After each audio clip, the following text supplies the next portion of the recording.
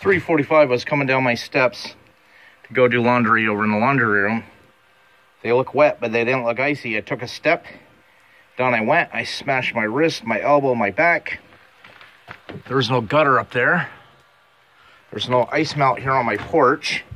I called the housing trust, talked to Don Chilo. She told me basically and insinuating that I needed to be more careful and that we put ice melt there for the neighbors.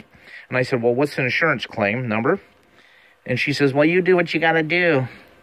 So, very sarcastic to me because I fell. It's like, you know, how can you tell black ice? They just look wet. They don't look icy to me when I took my first step down.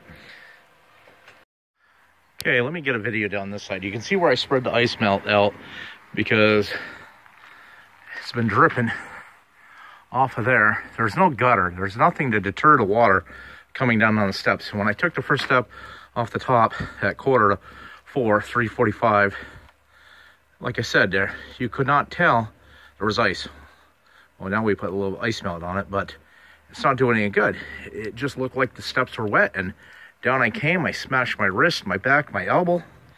I called Don Chilos. Like I said, she basically treats me like a moron you know, there needs to be a rain gutter or another little roof off of here or something to protect these steps.